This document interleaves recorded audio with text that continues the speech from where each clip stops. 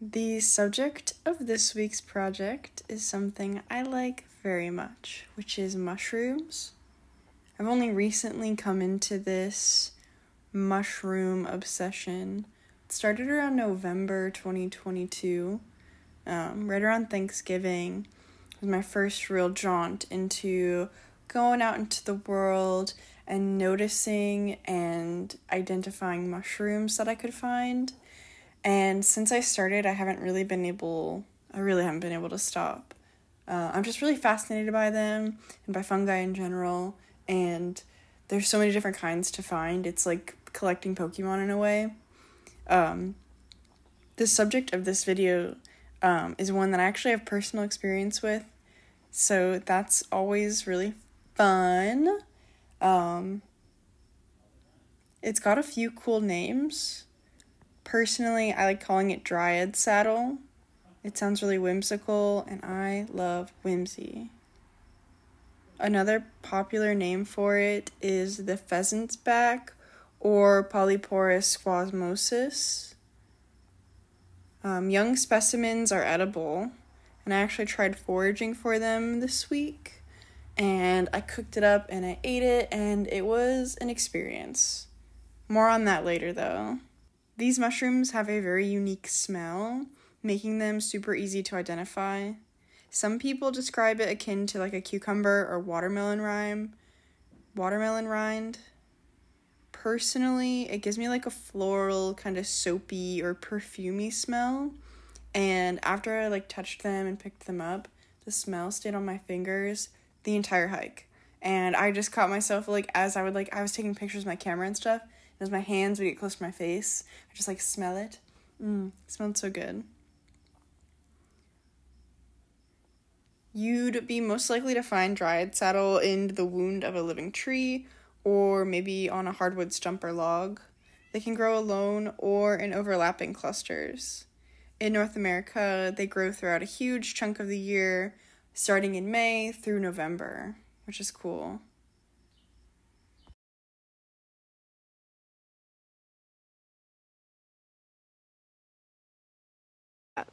Look at the massive beast.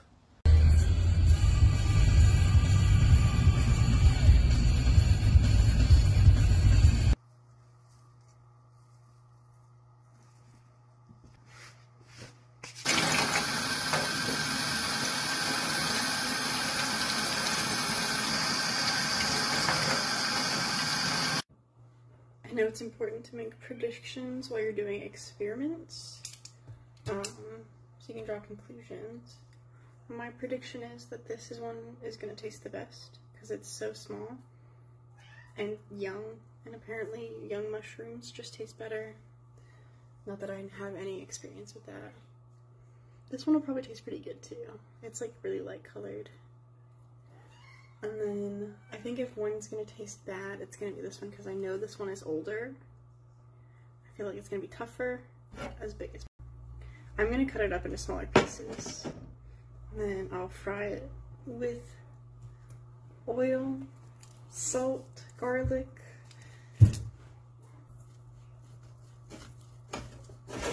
Yeah, this one's really firm. It's even hard to cut through. This is what I've prepared. Some of the bigger one was just like too tough to even cut through. So I'm gonna put that one out in the woods. And then this is medium and then the small one.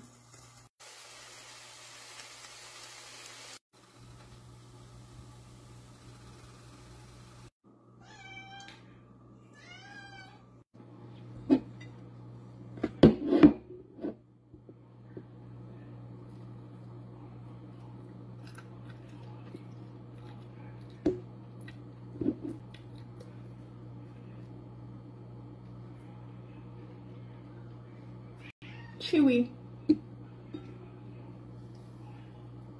Kind of greasy. That one's just really wet.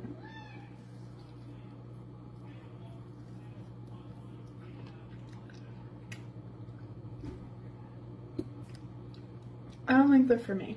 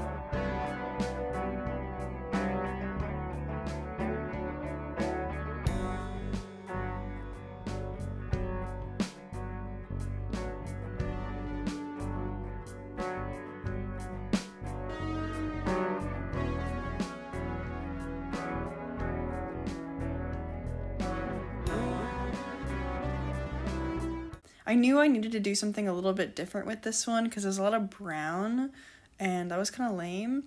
And then I had that idea to add the circle in the background and I used my compass, which I never get to use. So that was fun. Um, I'm really, really happy with how it turned out too. I think it has a lot of interest and texture while still being a good capture of the specimen and what it looks like in nature. Um, it gives you a little information because it has the scientific name as well as the colloquial name. So ultimately, super happy with this one. I hope you like what you saw and enjoyed watching the process. If you did, you can leave a like and subscribe to the channel. That's two really great ways to support my art. Um, I hope you have a great weekend, and I will see you next time.